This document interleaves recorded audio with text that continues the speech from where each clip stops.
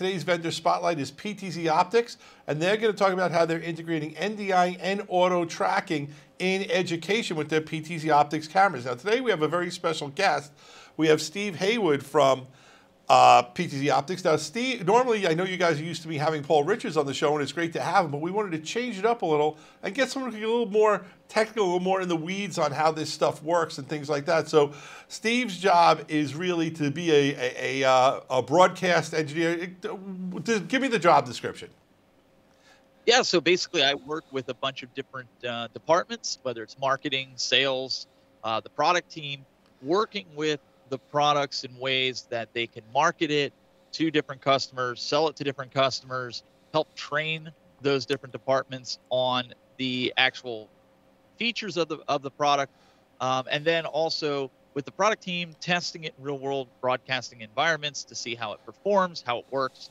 Uh, that's kind of it in a nutshell.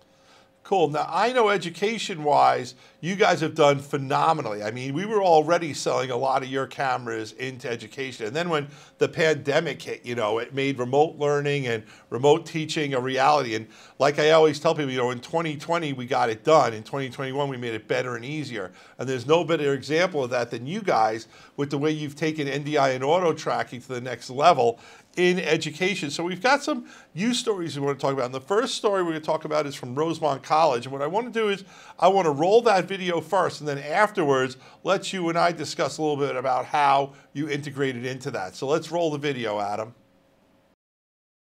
How have the PTZOptics cameras helped me to lead class for both in-person and remote students? Well, I don't think I could lead class for both in-person and remote students without them because I need the cameras to uh, keep everyone engaged and feeling connected. At any given time when I'm teaching, I do have students in person in the classroom, and I also have students coming into that same class through Zoom, through the big screen uh, at the front of the classroom. So I use the PTZOptics cameras to help the students to see one another, while we're having a class discussion to possibly, you know, using the camera in the back of the room, I can have the remote learners see me standing in the front of the room lecturing. If their classmates are speaking, I can use a different camera so that the remote learners can watch their classmates speaking. I definitely need those cameras to keep the remote and in-person students engaged in the one class.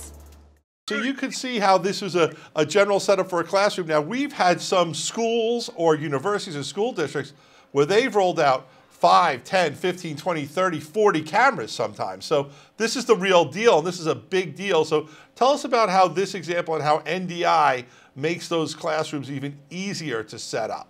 Yeah, with NDI, it gives you the ability to run video straight over the network, and it makes it uh, that much simpler for setting up.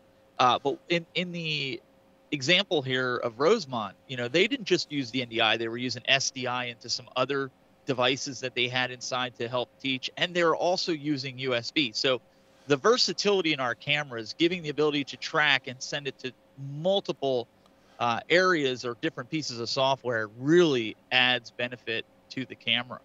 Yeah, and now one of the things that I found is before the pandemic, a lot of the IT departments in the schools really did not want to allow NDI and IP video because they were concerned about how it was going to mess up their whole system. But I think what everyone learned in the pandemic is you can properly set up your switches to, to only have the video go within a certain uh, IP, uh, IP level or zone or even a virtual VLAN within the building. There's so many ways to handle that that are differently. But the thing I want to stress and I want you to confirm is that just because you're running video throughout a school or throughout a school district or a university system, it's not going to affect the other IT pipes. That, that video can be easily isolated and kept to itself, correct? You know, 100%. So I'm currently working with our local high school right now. They have four PTZOptics cameras. And what I essentially did was I just have them plugged directly into a network switch, which then goes directly into the network via Wi Fi so that way the IT department can control the IP addresses of the actual computer that's running a vMix or Wirecast on it. And then the IPs are static. So therefore, it's not affecting the network. It's within that little switch, and all is well.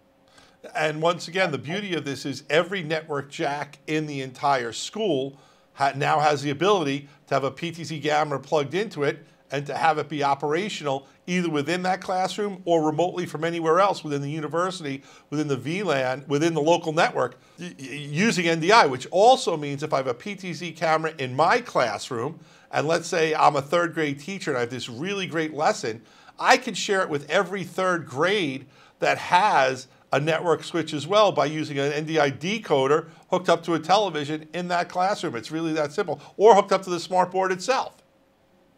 Yeah, I think over time, I think people are starting to adapt it more. In the beginning, everybody was afraid that there was going to be quality loss.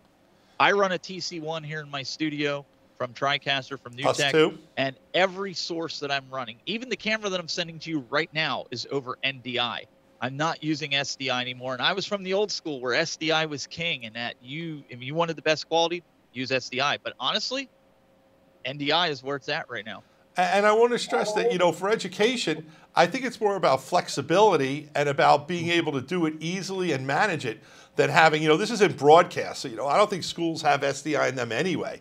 But it's a good point to make. You know, I think they're mainly using HDMI kind of cameras and stuff. But let's go into the really cool thing that you guys have and that is the Huddle Cam Simple Track 2. Now, we've been selling that for years, and, and that's a really nice camera for $3,000, and it will auto track the teacher as the teacher or professor moves around the classroom. That product previously did not have NDI, but now it does. In fact, and one of the things I want to stress before we talk about that product is if you have an older one, for 399, you can now upgrade the firmware to NDI, which is a really great deal. It's $100 cheaper than it was, you know, a month ago, and I think that's a great thing. So talk about, well, you know, let's do the same thing we did last time. Let's roll, I believe, to, let's roll the video that we have of the SimplTrack 2 auto tracking and lecture capture.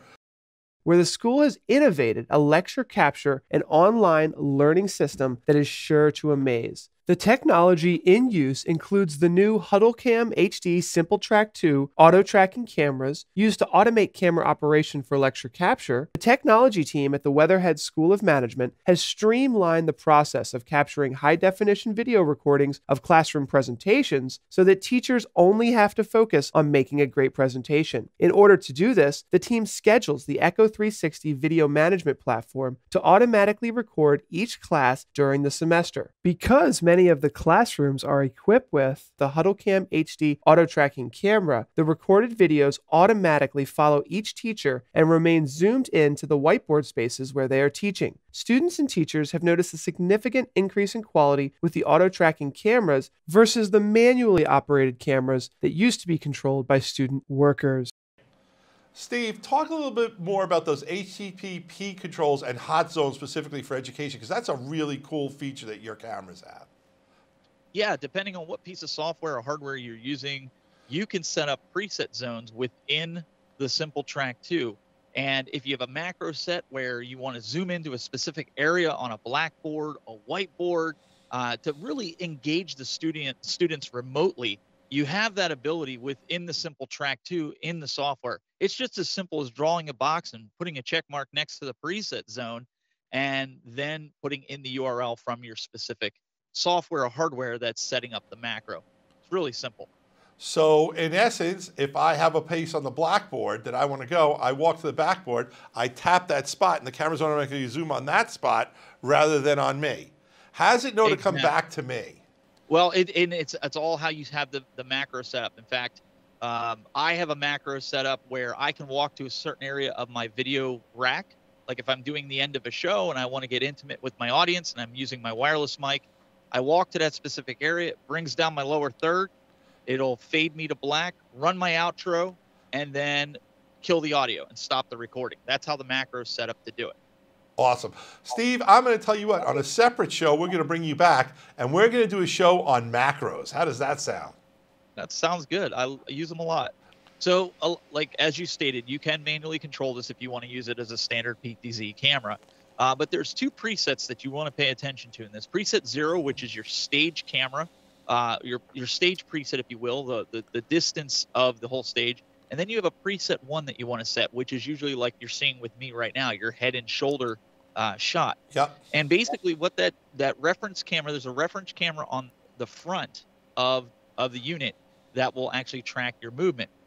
In education, especially, I know one of the things that uh, is important is the ease of use and the ability to manage things. You know, from out that the teacher can easily set it up, get it started, and use it. So one of the things that's beautiful about your PTZ cameras is they, they work with everything, correct? It can be working with uh, uh, uh Teams, Google Meet, uh, uh, Zoom, or it could be integrating into uh, any kind of mixer, OBS, vMix, TriCaster, you name it, correct?